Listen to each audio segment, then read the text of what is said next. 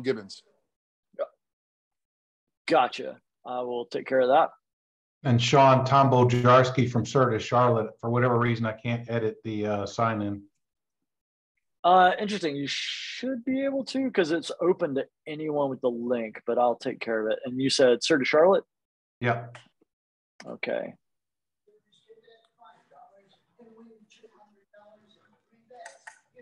All right. All right, let's get started.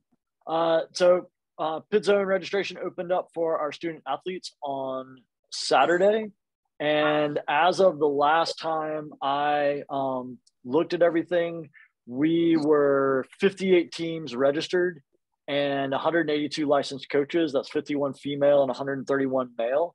And we have 104 riders that are registered 42 high school and 62 middle school. So we're off to a really great start. Uh, my prediction is that this 58 will be 60 plus uh, here in the next two weeks or so.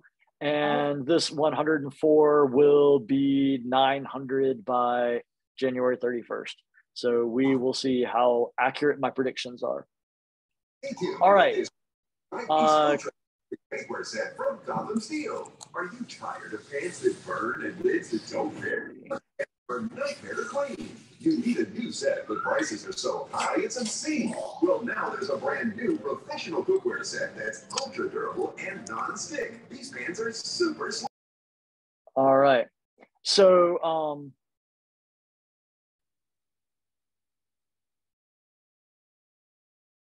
we will keep going. So, important dates. We've got, of course, November 1st. That's the last day to register a team for the $20 fee. So I know um, some teams have not gotten in there and registered yet. So just want to make this point very obvious for everyone that it does go up to $140 uh, afterwards, not 120. It's a $120 increase to 140. Uh, big news: November 19th and 20th League Summit and I have a link here for the event registration and lodging discount information. And if I'm not mistaken, uh, Brian, our league director, you would like to probably make a plug at this point on getting registered for this? Yeah, I certainly would. Thanks, Sean. I think there's two kind of practical aspects of registering as early as possible. One is uh, just maximizing the lodging discount, depending on which hotel I've listed in Eventbrite.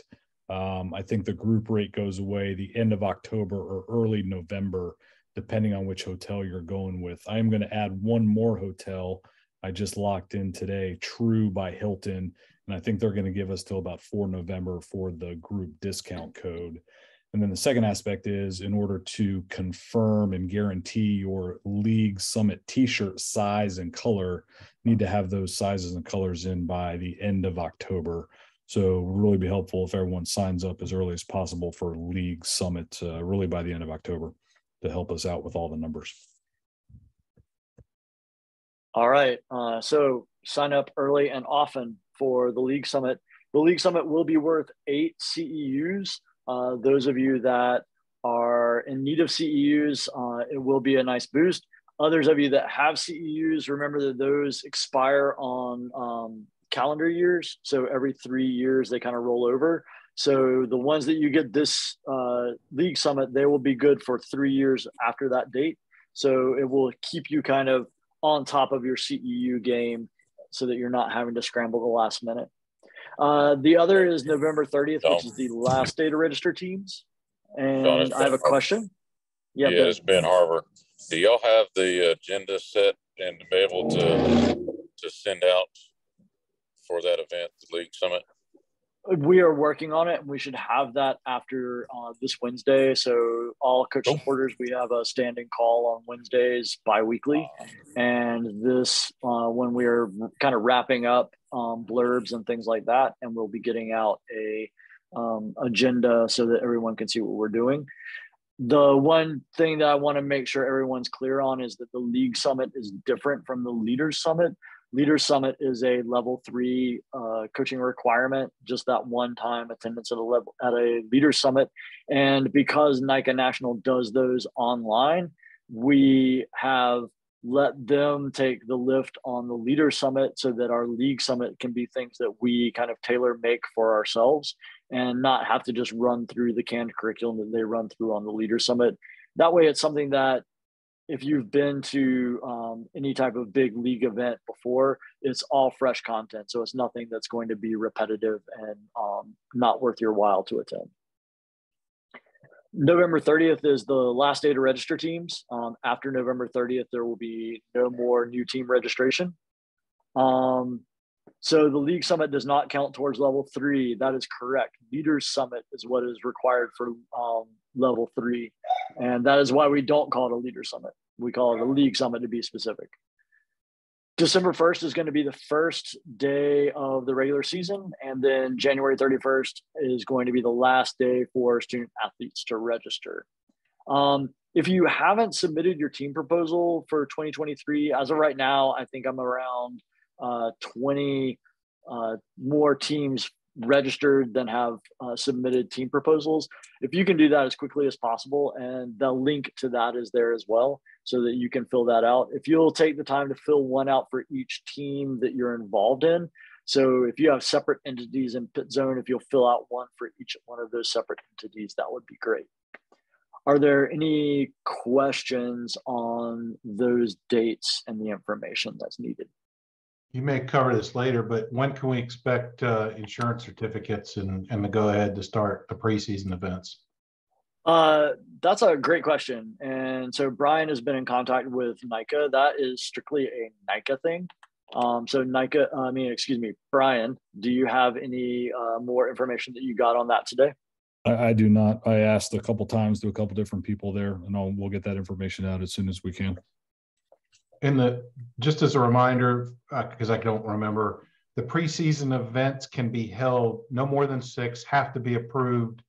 But is there a certain date range that's considered preseason? Since our if if we're already into like mid October and the season starts December one, I would assume all the preseason events need to fit in that window. Is that correct?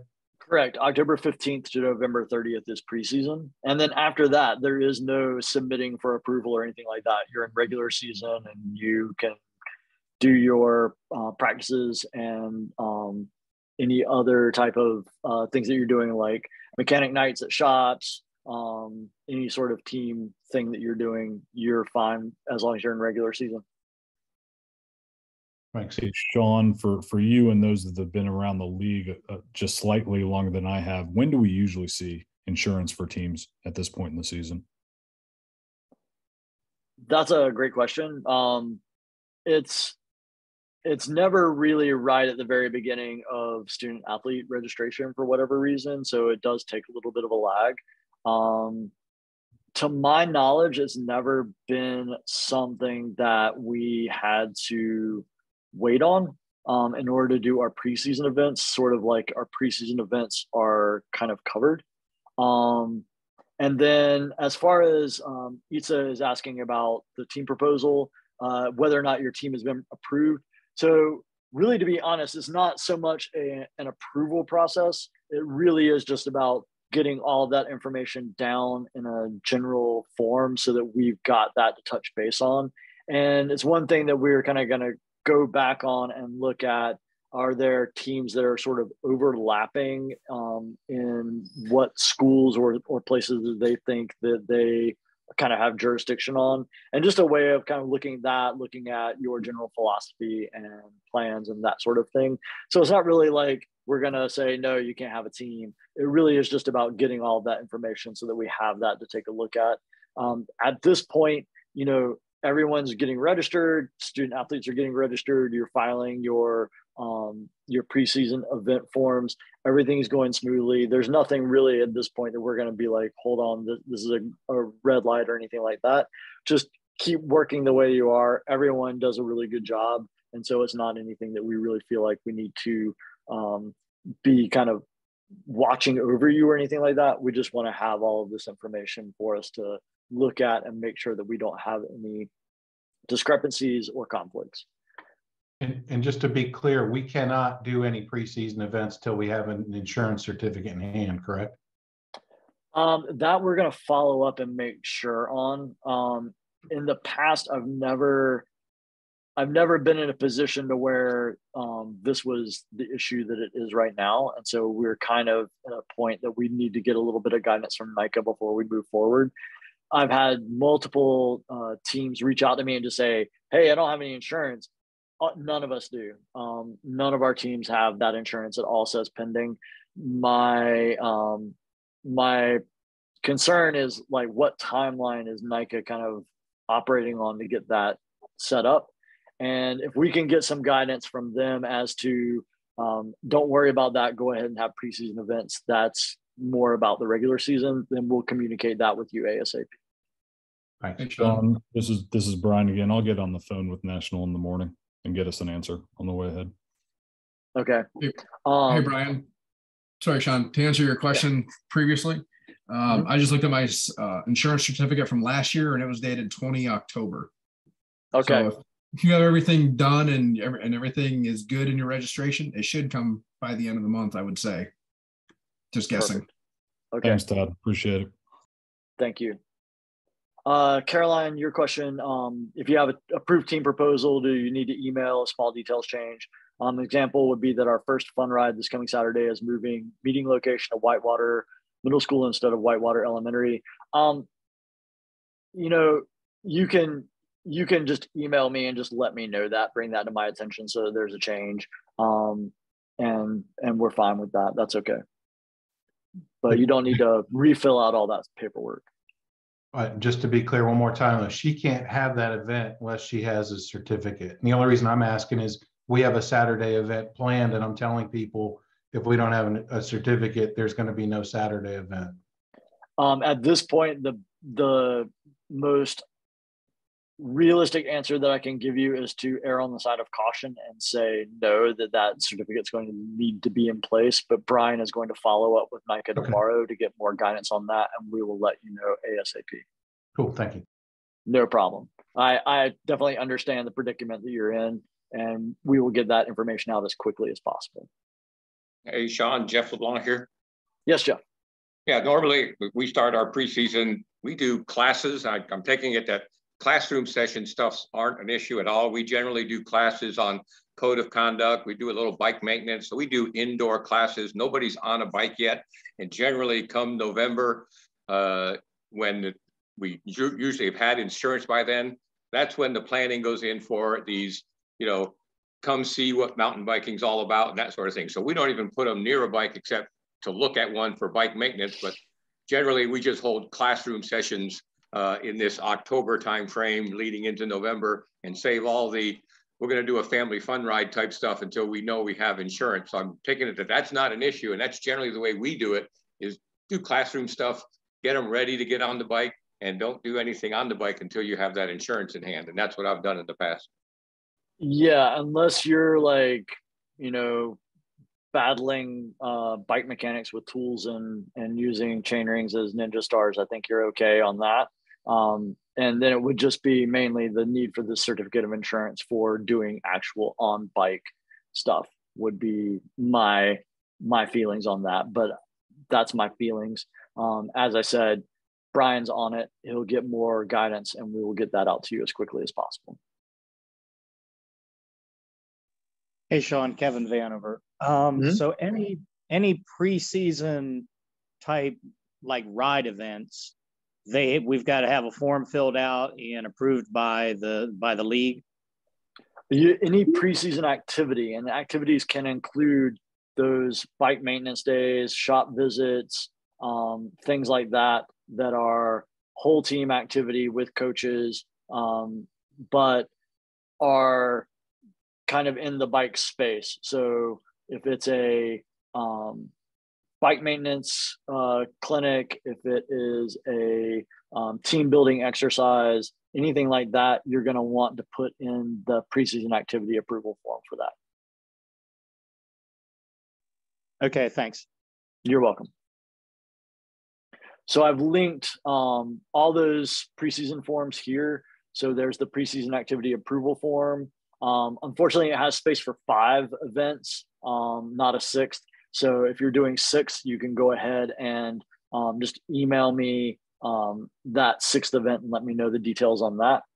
Um, there is nowhere in Pit Zone that shows you if the team proposal has been submitted. That is purely a North Carolina League thing, so it doesn't go in Pit Zone at all. It is just that form. Um, and I can, you know, I can let you know if if uh, there isn't one. Um, just reach out to me and just ask if one has been submitted by you, and I can double check on that. Um, how much notice is needed to get approval for a preseason event? Um, really, just a couple days. Um, honestly, I haven't even gotten to looking at any of the preseason activity approval forms yet because I've been inundated with everything with um, Zone. So I've been trying to get all of that stuff taken care of before I have even taken a look at preseason activities. Um, and I'll be addressing those here uh, this week, knowing that a lot of people are gearing up for this weekend. Um, so uh, one thing that um, you do need to be aware of is that you if you do hold an event without a certificate of insurance, uh, you are potentially liable if there's a, an abusive allegation, uh, since that's covered under the insurance. So just something that um, was brought up by our programs director. All right. Um, couple things. Uh, so TeamSnap, uh, we have had uh, about 38 of 58 registered teams are, are in TeamSnap now. And if you don't currently have a TeamSnap account for your team, you can fill out the TeamSnap information form and I'll create one for you. If you have a TeamSnap account that you're currently using with your team, you can fill out this TeamSnap transfer form and then it will be transferred into the league. If you have an annual subscription, then the prorated amount of your annual subscription that you have not used will be refunded to you since the league is covering the bill for that. Um, so those two things, if you can do that um, as soon as possible, that TeamSnap transfer form is going to go extinct at the end of October. It has a 30 day window. So if you are wanting to have that TeamSnap account transferred over, that's going to be the time frame that you need to get that done in. As of November 1st, what I'll do is kind of go in and any team that doesn't have a TeamSnap account, I will create one for you and I'll just make the team director the account owner. If um, you want something different, please fill out that TeamSnap information form one of the nice things about if you have a single team account, for instance, I have one team account with uh, my composite team, but I just had all of my student athletes from the multiple teams that I have in that account. Whenever I had that ported over and then created three new TeamSnap accounts under my ownership, I now have four teams, but I can add student athletes from my existing team that I already had to the new team that they're on, and they stay in both places.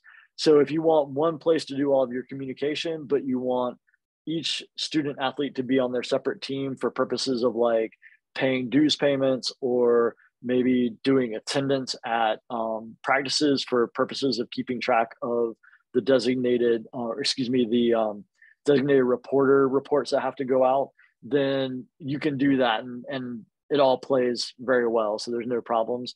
And there is no loss of information, no anything like that. Um, there was some reports of that early on, and it was just weird, fluky things that um, the servers had not quite updated yet. But there is no loss of information, and everything is there. So all of your stuff is perfectly safe transferring from where it's at now into the league teams now in addition to all of that, there is the um, petition for category placement exception form. We've already had several people wanting to reach out discuss like what category they're going to be racing. Everything needs to be done through that category placement exception form. Um, and that needs to be filled out by the head coaches. And then the Loaner Bike application and the student athlete scholarship application, both of those are there. And they should really be filled out by the head coach or team director as well on behalf of the student athlete and their parents. Um, Caroline, what's your question about Team Snap? So we've been using Team Snap for four years now. Mm-hmm. Um, and routinely the students in the off season have used the chat feature to say, mm-hmm. "Hey, we're going riding. Anybody want to go?" Mm-hmm. Um, and some of the coaches will go as a person, not as a coach, because um, mm-hmm. our kids are on the team and everything, and we all meet up and just go ride. Mm-hmm. Um, can we still do that, seeing as that is now an official league, like communication tool now? The right? official, the official league part of this is really just we wanted to provide this to you for free. That okay. was the impetus. This was not like we're now going to lord over you with a draconian fist. That it was literally like we can pay a really reasonable price. The amount of money that we're paying for the league is when when I knew how much I was paying as a team and then I saw how much we could do the league for, it was only four times more for Oof. the league the league to provide it to everyone than it was for me to pay for it for my one team. So fantastic. And and not just that, it's the ultra. It's like all the bells and whistles.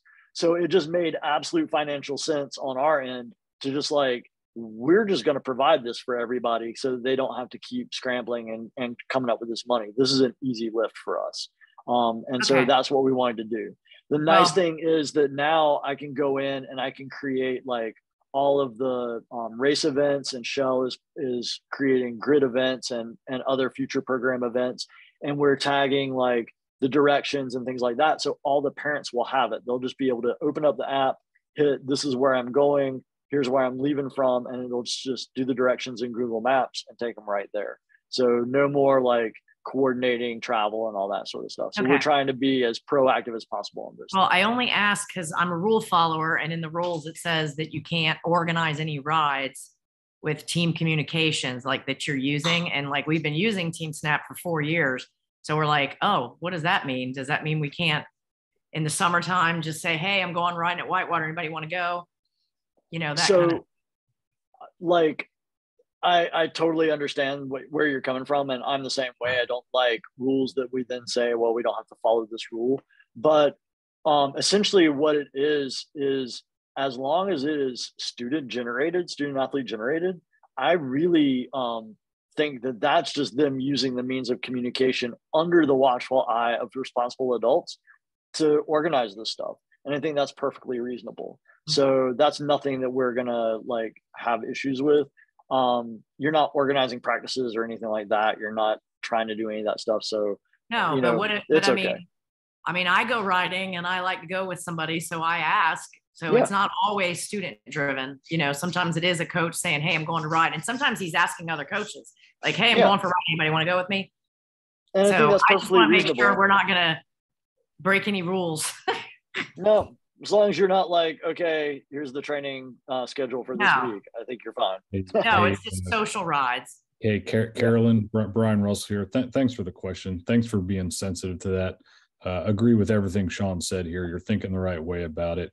Uh, we, Sean and I, have a session with Chris Molesky at National tomorrow night on Team Snap, and that's one of the questions I'm going to ask if there's any uh, best practices, lessons learned about appropriate communication between leadership and student athletes that we just need to be aware of. It might be a new tool for for some of us in the league. So I think those are good questions to bring up, Carolyn. I just wanted to thank you for for asking it here. Okay.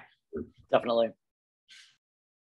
Um, and then let's see, there were a couple of questions coming through. Um, Aubrey, is there a deadline for loaner bike and scholarship application forms? If so, when?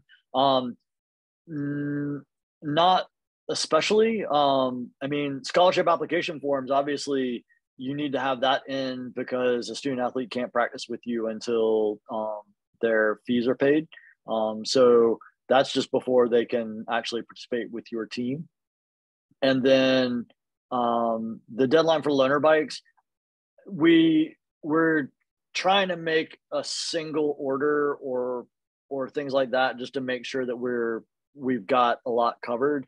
Um, we're gonna kind of maybe buy some bikes uh, without really knowing any applications yet, just because I know what sizes we're kind of light on, and kind of fill from there. So that's really going to be kind of the sooner the better uh, one thing that I'm really concerned about, and this is from my own personal experience on my teams, is I have had a really bad track record of uh, student athletes that get granted scholarships and get loaner bikes um, actually finishing a season, um, actually even lasting more than a month in the season. And that's a bit of a bummer. Um, and that's one thing that I think I'd like for all of you to be really aware of is that um, the student athlete scholarship is not a North Carolina just going, yeah, we don't, we won't take any fees from this. North Carolina actually will um, not get the fees that would come to it, but then will pay the money out of its general fund to NICA National to cover that student athlete's fee to NICA National. So it is sort of a, a, a cost to the league. And then loaner bikes, we do purchase those. And if a if a student athlete gets a loaner bike and and we've purchased it and then they kind of leave and then we've got a bike and the bike kind of doesn't have anybody to ride it for the rest of the season that's another sort of outlay of of money that maybe um, didn't need to occur it's not to not to dissuade anyone from from filling out those applications but definitely something just to be aware of um, and i wrestle with how to best address this it just seems like sometimes student athletes and parents if they have no skin in the game, it's very easy for them to just walk away. Um, and that's kind of a dis- disappointing thing, you know, personally that I've had to experience, and let alone knowing kind of other things. Um, I, I had a student athlete last year that actually applied for a scholarship, got it, and I didn't even know they applied. And I knew the whole time that they were actually moving out of state to West Virginia, and they they took the scholarship, registered the student athlete, and then literally never showed up for practice. And they were gone to West Virginia within a month. So just kind of keep that in in in your mind whenever you are talking about these scholarships and loaner bike applications, just to make sure that you really are trying to get a, a, student athlete that really has a genuine interest to to participate and isn't just sort of like, oh, I'll just try this and see how it goes, kind of thing. Um, that that I think has kind of been my mistake in the past. All right. Um, so there's a couple of questions about uh, category placements.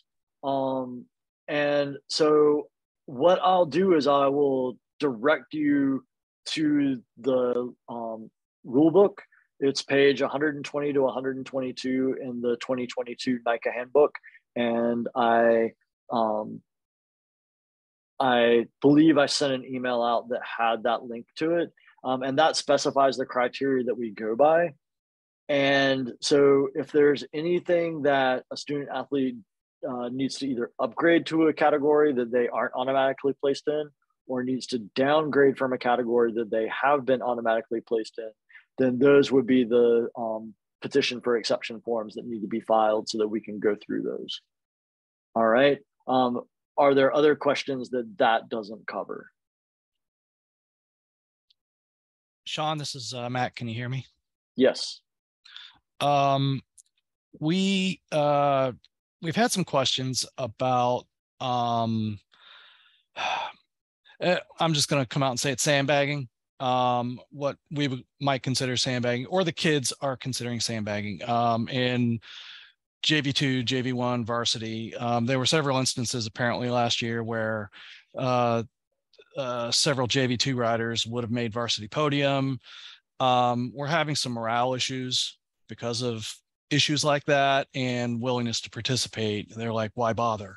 Um, if they're really putting in their level best effort in the category that they feel that they belong in, but there are other people that are way outperforming the category that they're in. Is there any are there any provisions for moving them mid-season or saying okay you're just blowing everybody out of the water. You need to upgrade. I know it's been encouraged and it's just been a uh, I think in the past it's just been you know a recommendation that hey you really ought to consider this. It's starting to affect some of our kids. Um, so is there what what can we do about that um so under the current structure that NICA provides us, um, I don't know what exactly we can do about that. That's going to be something that we'll need to sit down and take a look at and see what we can do. One of the things to be aware of is that uh, that rule book is the rule book for the season, and so once once that rule book is released, there's no changing rules at that point. Uh, we actually I have to file rule change um, applications at the end of June for the very next season. So uh, I think that committee is actually having a final meeting on rule changes that were submitted in June 30 for the new uh, rule book that will be coming out for this season. Um, so we can look at it and see what it is that we can do within the rules to encourage um, kind of fair competition. And then maybe we need to sit down and take a look at how do we tweak the rules for North Carolina to make this um, less of an issue, if that makes sense. Yeah, I mean, I, I just I've got kids that are saying, I don't want to do this. I want to go back to the next level. And they're going to blow those kids out of the water. Um, yeah.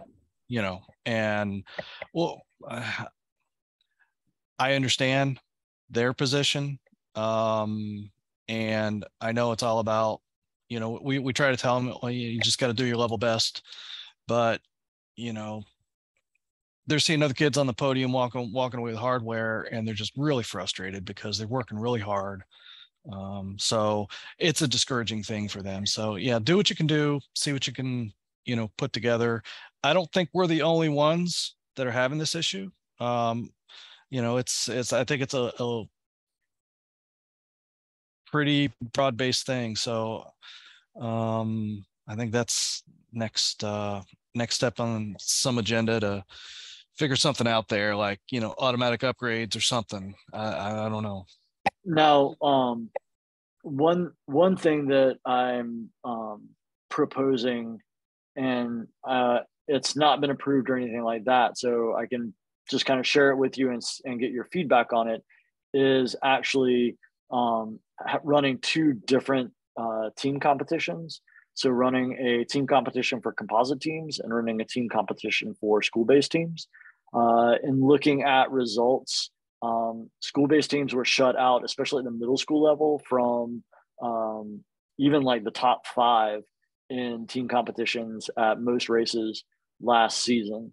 And that is one way that possibly we could give a little bit more competitiveness for those school-based teams that are typically smaller and just draw from a, a smaller pool of, of riders to contribute to that team score. Um, I don't know what you all think about that, you're more than welcome to email me and just let me know your thoughts. Um, but just one of those things that we're kind of maybe thinking about to try and encourage more student athletes that aren't seeing the success that they that they should. Hey, Sean, Jeff LeBlanc here. Yes. Yes. Not, not to go too deep into this, I'm sure we'll have some more discussions, possibly even at the league summit. But I know that what you know Matt's been talking about is is an ongoing situation, and one of the biggest deterrences of a coach or even a student to cat up a student is they lose all the points from that race. They move up with a zero. And one of the one of the conversations we had in the past was, you know, you could at least give them last place points for the category they're moving up into. So instead of moving up with a zero, they move up with something because you do a race and yeah, you blow somebody out of the water, but the student had no idea that that's where they were going to be. And they say, well, cat up. Well, if you cat up, you cat up with a zero. You're now, you're suddenly, you know, last in the call up list. And so there's such a disadvantage to cat up. And if we could solve some of those problems, and if it needs to be in the rule book, then it, great. But if you solve a problem where it's not such a, a detriment to cat up uh, with points and with call up, you know, positioning or that sort of thing, I think you'd find a whole lot more coaches and students saying, absolutely, let's move up because I'm not losing everything because I did great in this race, but I might as well have not have been there at all because you take everything away if I cat up. So last season we did do that. Last season we um, gave them last place points when they catted up. Um, so if they raced the first race and catted up the second race, then they got the last place points um, for that second race to get a call up. Um, one thing that uh, I'm working on and that hasn't been approved yet is another way for us to kind of mitigate um, those races with uh, call ups so that we can um, get those kids up to the front uh, a little faster. And um, once we have kind of approval from the league, then I'll be able to share that with you. Uh, so there's a couple of things that we're thinking of to try and, and address those issues. But last year we did do the last place, and I think that'll help. And then I've got one more um, one more thing that I think will kind of help push it over the top to make it a little bit more equitable for those kids to move up. Excellent. Thanks. Yeah, no problem. Thank you. Hey, Sean, the last place call up points, is that something that happened only after like the first race, or could that have been like in the middle of the season or just um, any? Yeah. So uh, realistically, the um, the way the cat up works is it only makes sense if the rider is trying to be competitive in the overall to cat up um, from the first race because then that first race ends up being their drop and then they've got four races to sort of set themselves up um, for the overall. Then if they do it in the mid-season then they're going to have you know one drop and then a, and you know, like zero points, a last place. And so it's they're not going to be competitive for the overall, but they're at least in a in a more competitive class for themselves. Um, I'm also working on for the um, the state championships, like how that sort of selection criteria is going to work out. And this is a good point to think about, like if a if a kid does uh, up during the season before state championships, like what's realistically the the path for them to qualify for for state championships kind of thing. And so that's that's a good one um, for me to kind of make note of because that's one that i hadn't thought of. So thanks. I'm just going to throw it out there real quick that because there is a state championship mm-hmm. the uh there's going to be it, uh much more emphasis on points and positioning and categories and you're you're going to be in for a whole lot of uh oh yeah. Oh yeah. yeah a whole lot of issues. Oh yeah. I know. Um it's like uh homecoming court in high school. Um yeah. there's no right way. And i'm used to i'm never right. And um like I'll be honest with you. If half of you like the the things that I say, and and only half of you um, have severe issues with it, I'm doing pretty good. Um, so I'm kind of used to that, but we do our best. And um, this first state championships, I'll be honest, we're probably going to screw something up, and somebody's going to get mad, and somebody's going to get hurt, and you know, i I'm probably going to get yelled at by a parent. Will not be the first time, and it will not be the last time. But um, you know, we're doing our best and we will continue to do our best and we will always refine and try to make things better. Like that's the key is everything is a learning experience for us and we'll just continue to make it better. So this is going to be our first stab at a state championships and we're really trying to be thoughtful and mindful about how we do it. And um, we're going to do our best but uh, full knowledge and full warning fair warning that uh, we're not going to get it 100% right. I'm sure. I'm positive. Um, so hopefully uh, it will be someone that um, I know well and like and respect that comes and yells at me because that'll be marginally easier for me to take. Um, all right, so. Hey, Sean, one more uh, question on, on cat up here, Jeff, Jeff here. Just a quick question. What's the cutoff date to cat somebody up so that at the first race, their race plate is for that category with their name on it and everything? Uh, that usually is a Heike Biller question, and I believe it is two weeks before. No, it's more than that. It's usually in February sometime. Yeah, I think. I, I think it's like first week in February, maybe second week in February. Hey, hey, I'll Sean, get you an exact. Sean, I'll get yeah, you an Sean, exact date and go from there. Sean Brian here. That's one of our yeah. topics for the uh, league director call first Monday of November uh, to uh, set that date for everyone. So we, yeah. I think we're doing, we're thinking about doing it a little bit earlier based on last year. Um, but yeah, we'll get that word out probably next month to everybody. Cool. All right. Um, couple of quick things, uh, especially for team directors and head coaches that I just want to make you aware of. So um, I'm going to run through this pretty quick, but it's important stuff. So here is uh, one of my teams, and um, this is from last year. This is not um, from this year, uh, which is why a lot of the um, coaches are actually registered. I don't have this many coaches registered currently, um, but uh, things to watch out for: green checks, great; red exclamation point, bad. Um, so if you see a coach with a red exclamation point and then you see them in person at practice, the thing that you need to do is walk up to that coach and say, really glad you can make it, but you can't be here until you are fully registered in Pit Zone.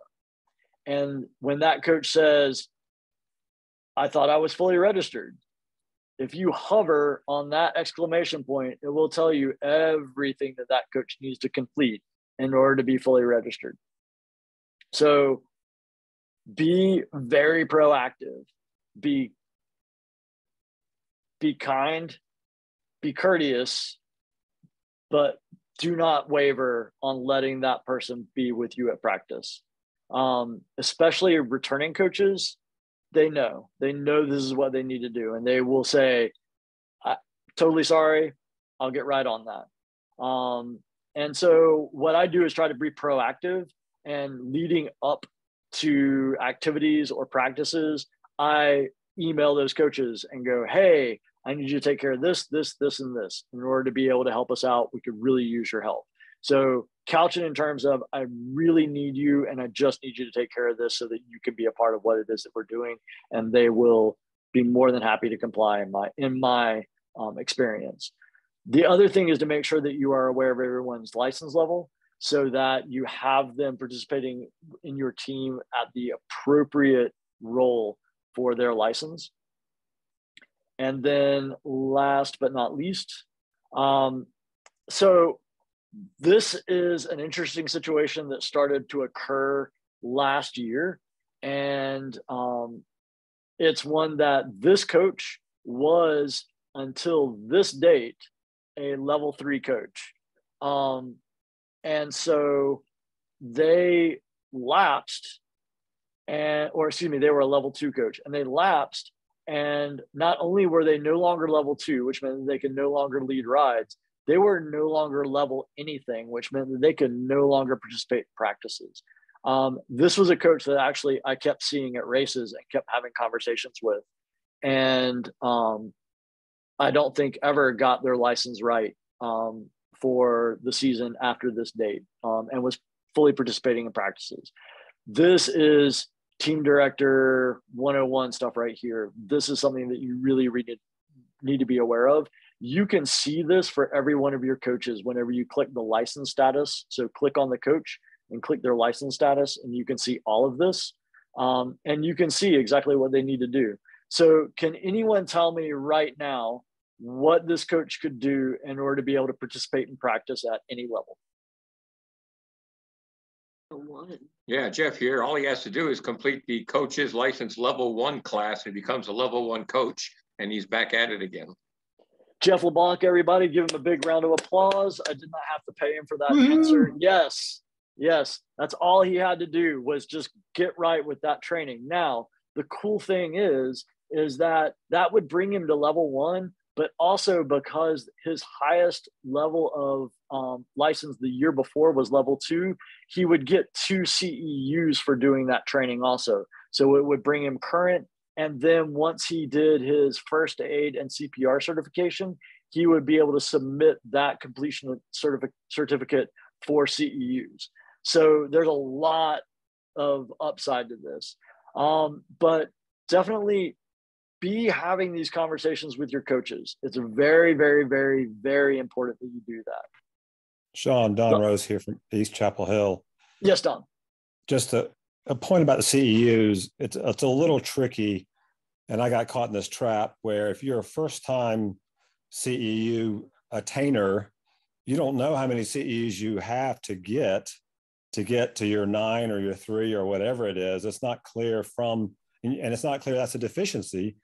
Uh, when you start earning CEUs, you know when they expire and you can kind of start doing your math. But I've, NICA has already uh, admitted that this is a real problem in Pit Zone.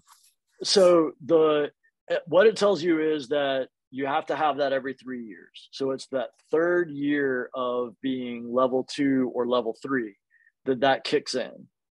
And it does tell you how many CEUs you have. If you look here by the CEUs, like this person has seven units and it tells you when they expire. So it will tell you the number of units that they have and let you know um, kind of the, expirations on them. And then you can kind of keep putting CEUs in there. And there's lots of things that are acceptable for CEUs. It doesn't have to be NICA things. There are online trainings that you can do through um, USAC, through the um, uh, National uh, Federation of High School Sports, like all kinds of places that you can do. Um, if you get uh, private instruction from some um, somebody who's like a PMBIA certified coach or a um, BICP certified coach, if you attend a clinic by someone like Ninja Mountain Bike, any of those things, you can submit that for your CEUs because all of that is going towards you being a better rider and a, and a better coach. So there's lots of things kind of outside the box that you can that you can apply for to submit for CEUs. You just need some sort of certificate and a lot of places they may not give you one, but if you ask and say, "Hey, I need to submit this for CEUs for NICA," they're more than agreeable to uh, provide that for you. Um, just some yeah, proof no, that you did something. Yeah, that's that's fine. Just as a if you're if you haven't accumulated any CEUs prior to X to needing CEUs, you won't know that because it won't show you don't have anything to expire, and so you just don't know that. And so if you're a first time coach trying to accumulate CEUs you, you need to be careful you don't get caught in the trap of I need nine all of a sudden, like I did, to maintain my my level three, and I had no yep. idea until you told me I had to get them, so I got them. But it's just a little bit of a trap you need to be careful of. And, and it'll say that you're a level none coach, even though all the green boxes are checked, because hidden in there are the CEU requirements that don't say that you need them. So to be clear on on the NICA requirement. So every three years, as a level two licensed coach, you need three CEUs. Every three years, as a NICA level three licensed coach, you need nine CEUs. If you are level two one year and then you are level three two years, then that is your third year as a level three and you need nine. So it's kind of the combination. So it's whatever your highest level is at the end of that three year period that you need to be getting those CEUs. Um, after that, um, you will have this kind of nice little readout until everything expires. And once everything expires, it will just be back at zero. And you'll kind of be in the same boat again of like, oh, wow, I didn't know I needed nine CEUs again. Um, and that's e- an easy one to fall into kind of something to sort of do ongoing maintenance wise is as a level three coach, as soon as you see the opportunity to take level one or level two certification training, go ahead and take it. The level one is good for two CEUs, and the level two is good for four CEUs. There is uh, this season a NICA Adventure Coach module that is in the LMS and that is good for two CEUs. So right there with those three trainings, you can get eight, um, and then you just need one additional. And then um, hopefully now that we're post pandemic, we will be having these league summits every year, and that will be another opportunity for you to get a um, nice chunk of CEUs. Uh, you can also um, take OTBS 101 again. You can take OTBS 201 when we offer that in order to get CEUs. So there, there will be a lot of things in the league level we'll be able to offer for CEUs as well that I would encourage you to look at whenever those become available. Um, but yes, Don, you're you're correct. You do not want to get caught in that like, oh no, now I've got to get this because um, it, it is an easy one to uh, to oversee for sure. All right. Um, so that's kind of that. And the only other thing that I wanted to make sure that everyone was aware of is whenever you're looking as a team director, this is sort of job number one uh, one A and one B. So one A is making sure your coaches are good for for practice, and one B is making sure that your student athletes are practice ready. And the color of this really doesn't mean anything. So you can see that no here is in gray and no here is in black. That doesn't mean anything. What we're looking for is yes. So when you see practice ready, yes, the student athlete can come to practice, can come to preseason events, all of that. They are ready to go um, and all good. In preseason, you can have a new student athlete to your team, not new for the season, but new for that team, um, new to NICA. They can participate one time with your team on a student waiver. The same thing with an adult. A returning coach that isn't right yet, they cannot participate on that waiver. They have to be right. Um, it's just the one time um, per lifetime that you can use that waiver for either an adult or a student athlete to participate with the team. Be aware that any adult that is participating with a team for that one time waiver has to be accompanied by a um, level two or level three coach at all times. And they cannot be in any one on one situation with any student athletes at all. So those two things have to be um, you have to be very vigilant on as well. Um, it's designed so that a person can sort of see what the team is all about um, and participate that way and learn more about your team culture and see if it's for them. Um, but you don't want them directly interacting with your student athletes. They have no training and um, no reason to be doing that. They should be there strictly to observe. Questions on that?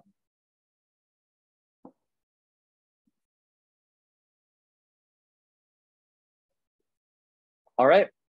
Uh, we have five new teams that have joined the league so far this season. That means that we will have additional OTBS 101 courses.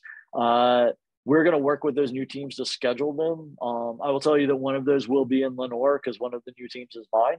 Um, and any seats that are in the class that aren't filled by the team will open up to the league. And we really want those to be taken by returning level one coaches.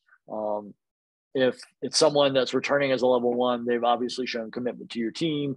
They get your team culture, and now that uh, OTBS 101 training will help them on their path to level two and being a greater asset for your team. So that's really what we're trying to encourage.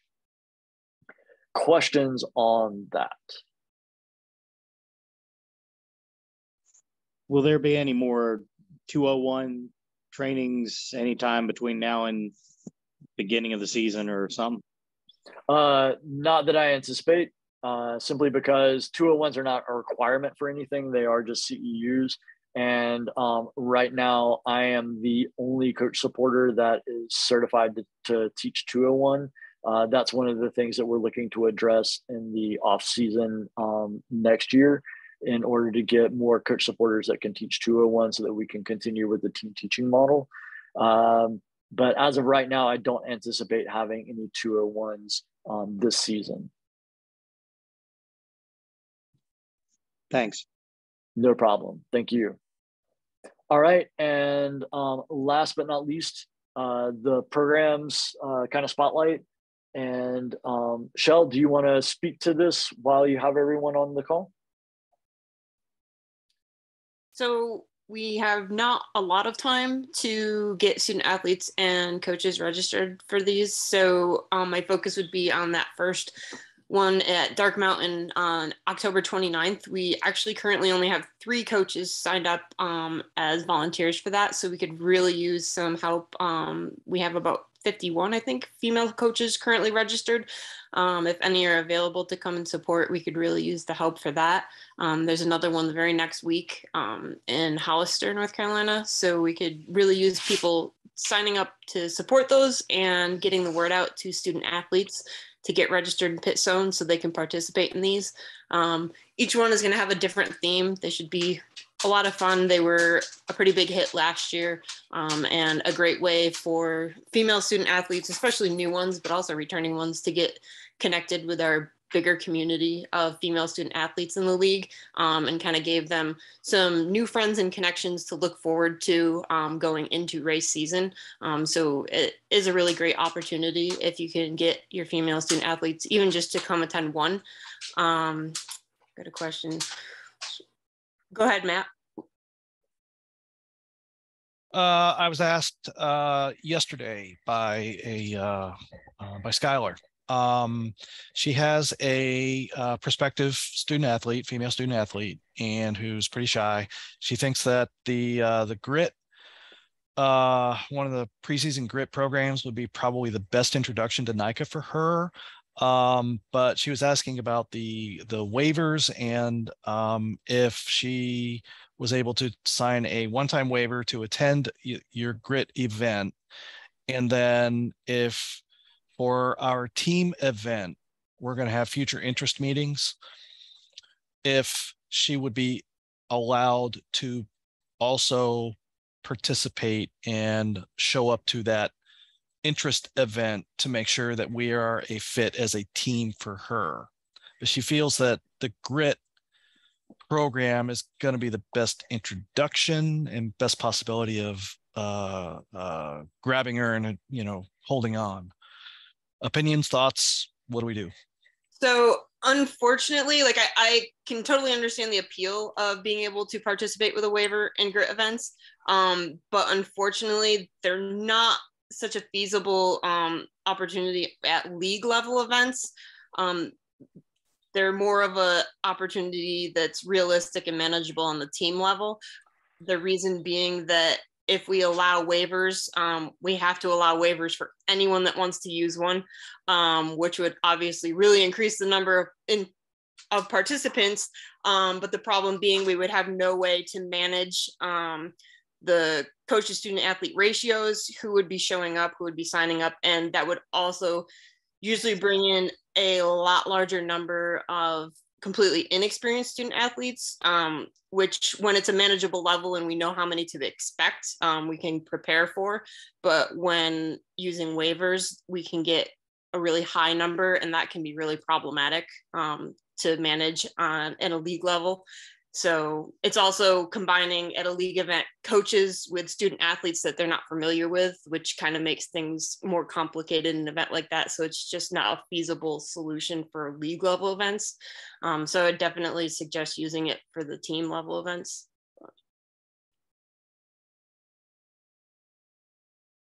Okay, understood. Thank you. You're welcome. Um, the only other things I've got is we have applications for new GRiT ambassadors that are open right now and the applications for those will be closing on October 22nd. Um, and student athletes do have to be fully registered in Pit Zone in order to apply. And applications for the GRiT Mentor Program are currently open.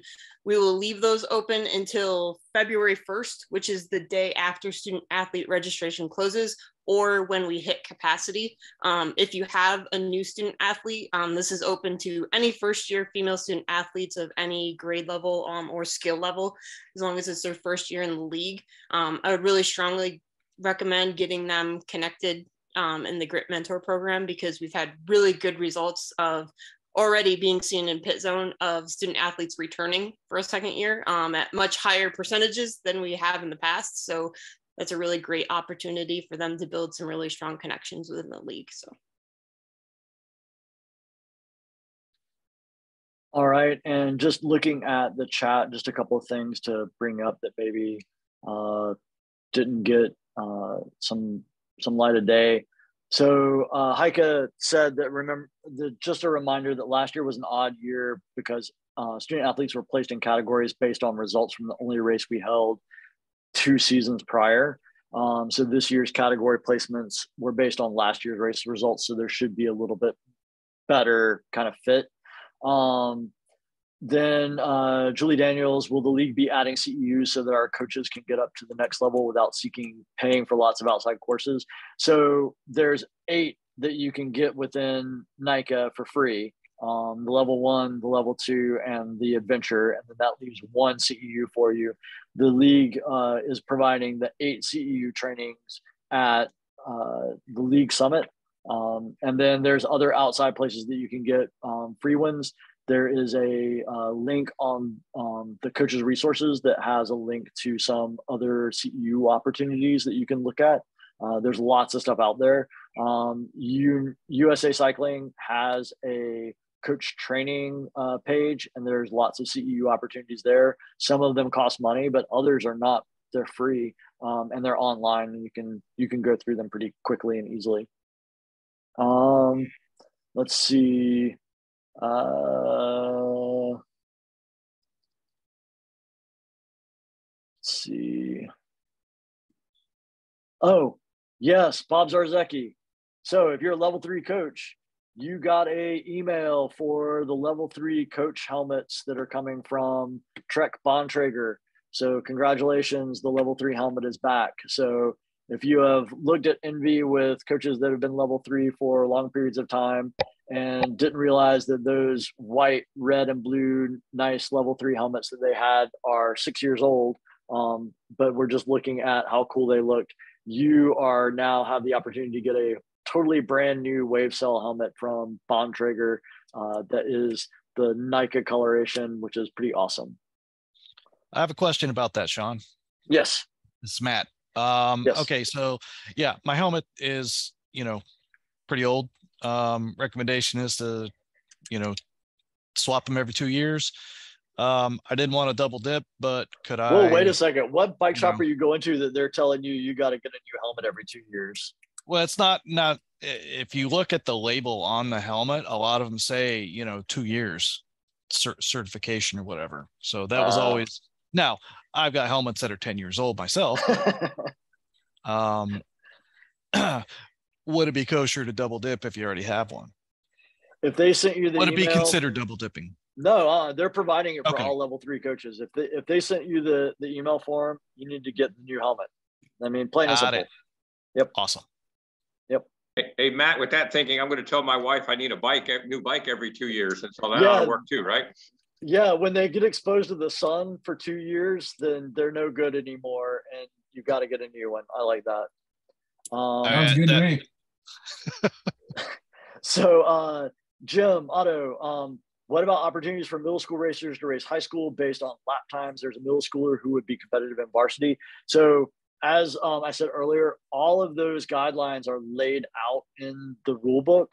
Um, and it sounds like what we're going to need to do is probably have a conversation about some sort of rule change for next season. But for now, we've got to work within that rule book um, and do what we can to sort of accommodate everyone. And let's see. Uh, my wife has chimed in and said that she had no CEUs last year and did them online for free through NICA and other partner organizations. It was a lot of seat time, but she got through it. So I think she did that in a weekend um, when she saw that that she needed it. And uh, Caroline Prey for Shell for future planning purposes. Um, not able to help this year at all of the GRiT events. Um, Saturdays are always a day for our team rides events. And this year, due to team coach numbers, they need me to be there. Hoping next season GRiT events may be able to happen on Sundays. Maybe I do realize scheduling is really hard and never works for everyone. So I may just be out of luck. Um, as always, we, we try to do our best. Um, so, but thank you for sharing that. Does anyone have any other questions, concerns, or topics that they would like to bring up?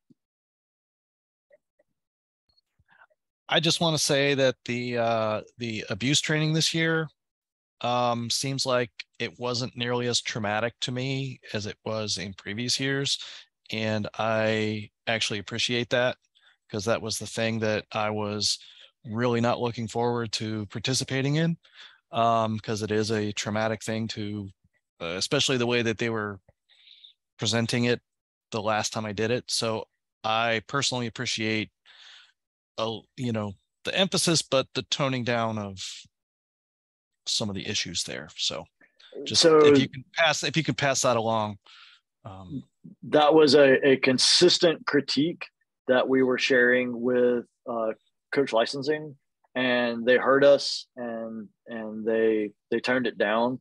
Um, I will tell you, I've been a professional educator for 22 years. I've sat through a lot of abuse trainings, um, and the one that NICA had us do that very first round was by far the most traumatic experience of any of them that I've ever had. It I sat down and I made the mistake of just sitting down and doing it all at once.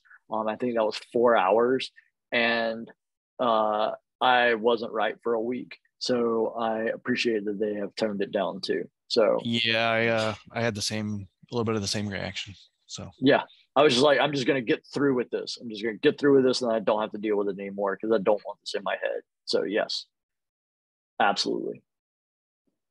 Awesome. Um, well, I apologize. I have kept you about 40 minutes late, but I really, really, really uh, appreciate all of your um, time and attention. Some great questions. And as always, if you have any questions, concerns, or if you have a uh, just a little thing that you can't quite figure out, email me, um, Sean at northcarolinamtb.org, and I will be as quickly responsive as I can be and um, I will get to you as soon as possible.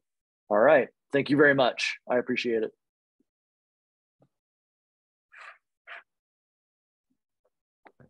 Hey, Sean, this is Nikki Malatin. Can I ask you a hey, quick Nikki. question? Yeah, what's up? Um, I did the um one of these two-day modules for the PB freshman. Yeah, PMBIA. Mm-hmm. It wasn't a certification, it's just a two-day module. And Okay. I sent the league, um, they gave me an evaluation at the end. It wasn't a certificate because it wasn't a certificate class, but they rejected that.